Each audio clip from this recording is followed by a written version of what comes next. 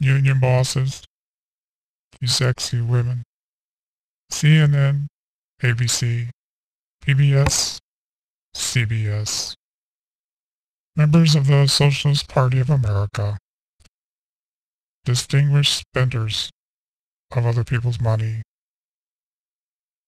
and the little people. Today we say goodbye to the youngest child of Rose and Joseph Kennedy. Some will remember Ted Kennedy as a drunk. I don't, because his whole family are alcoholics, and I'm hooked on cigarettes. No one's perfect. Some will remember how he flunked out of Army intelligence training at Fort Holabird. I won't, because not many on our side are experienced in intelligence.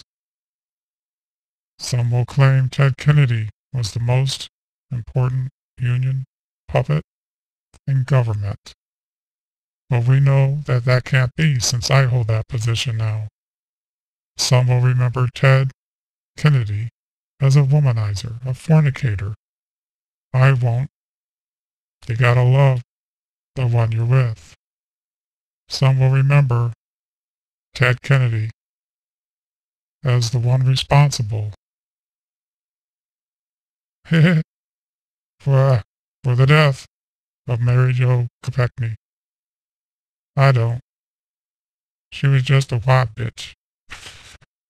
He was a man whose name was on over a thousand laws that further oppressed Americans, and he penned some 300 laws himself. He was well known as the liar in the Senate, more recently superseded by Nancy Pelosi. It was well known he had millions stashed away in foreign bank accounts. But we can overlook minor things like that because he was a man for the little people. He whispered in my ear on his last breath that he wanted my government health care legislation to be passed this year before the elections of 2010. He wanted us to memorialize him by naming it Teddy Care.